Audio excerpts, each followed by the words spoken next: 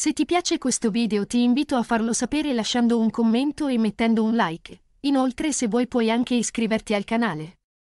L'Inter continua a cercare con determinazione un difensore che possa ricoprire il ruolo di vice bastoni nella solida difesa a tre di Simone Inzaghi.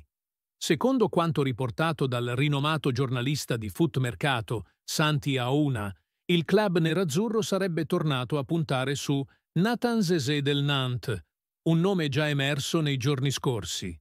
Le ultime indiscrezioni rivelano che l'Inter avrebbe messo sul piatto un'offerta di circa 15 milioni di euro, bonus inclusi.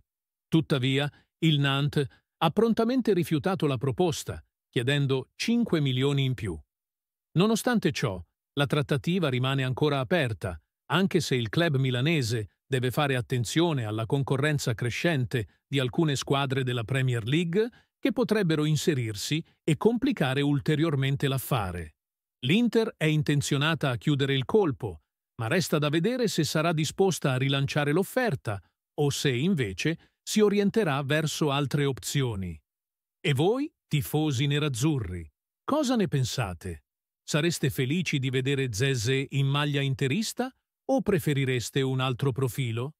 Fateci sapere la vostra opinione nei commenti e non dimenticate di iscrivervi al canale per rimanere sempre aggiornati sulle ultime novità dal mondo dell'Inter.